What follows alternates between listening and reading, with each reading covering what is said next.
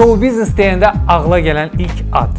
Mən həmişə demişəm, e, yəni Aygün Kazımova show biznesin yaradıcısı olub Aygün Kazımova. Gəlin, yəni bunu e, açıq deyək.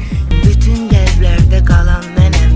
Röyada var, Rəqsanədə yox. O bədən şəkilləndirmə əməliyyatında çox qəşəng. Məndə yox da, mən də gedəcəm.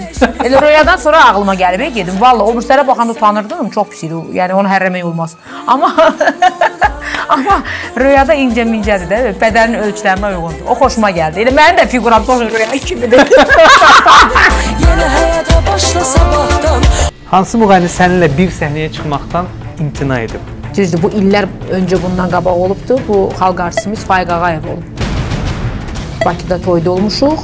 Ansambl olaraq Faiq Ağayev toy idarə eləyibdi. Toyun qurtarmağına 1 saat qalmışdı. Məni səhnəyə buraxmırdı. O gəlirsə mən toya gəlmirəm və yaxud mən o oxuyacaqsa mən oxumayacağam və yaxud mənim musiqiçilərimlə o çıxmasın səhnəyə. Bax belə bir şeylər baş vermişdi.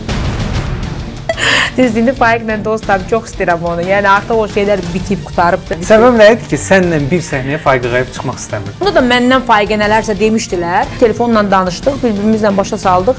Yəni bildik ki, yəni düzgün bir şey olmayıbdı. Çox istəyirəm, barışmışam. Boğazı ağrıyırdı. Hələ ona hətta buradan bal da göndərmişəm. Xatirə İslam. Mənfi cəhəti Hə, yoxdur. Xatirə öncə müsbətlərdən ibarətdir. mesajdaşırıq məsələn, yazırıq, yazırıq, yazırıq, yazırıq. Aha. Bir müddətdən sonra xatirə ölübsən, qalıbsan, başına daş düşüb heç vaxt axtarmazsan.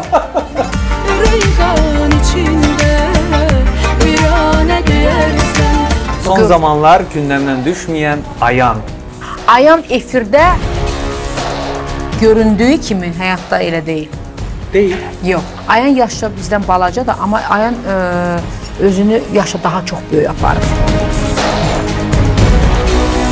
Məni elə gəlir ki, hay həyat elə eləyibdi ki, Ayan ə, bu günlərim yəni özünü daha da yaşca böyük aparır. Mənim həyatda gördüyüm çətinlikləri bəlkə heç Ayan heç görə bilməz. Mümkün deyil bu. Mən həyatda çox əziyyət görmüşəm. Mən efirdə də buyam, çöldə də buyam, hər yerdə buyam.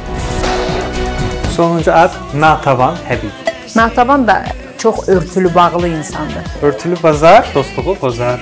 Mən xatirə ilə söhbət eləyim. Oturacağıq dədəmizdən, babamızdan nə var hamısını tökəcək ortağa. Sən də hər şeydə aramızda danışacağıq. Hə. Amma Natəvan hər şeyini açıb danışmaz. Eşq özü bilər